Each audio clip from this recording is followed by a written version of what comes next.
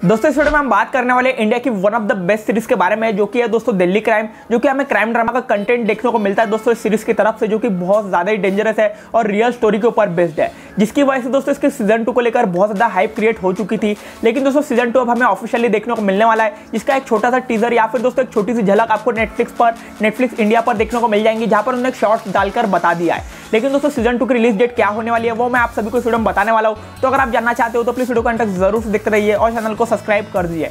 दोस्तों no doubt इसका season one हमें 2019 में देखने को मिला था, जो कि दोस्तों बहुत ज़्यादा डेंजरस था और हम सभी को उसकी स्टोरी अच्छी तरीके से मालूम है।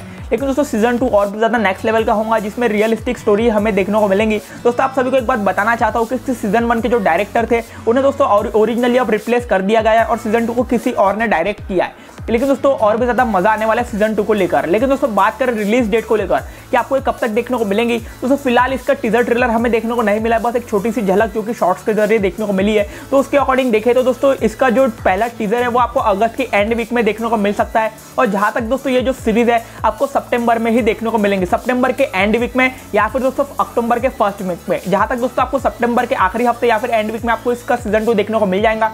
फ़िलहाल यही अपडेट है इसके सीज़न टू को लेकर। आपको क्या लगता है सीरीज़ के बारे में कमेंट में ज़रूर बताना। चले मिलते हैं हम नेक्स्ट वीडियो में।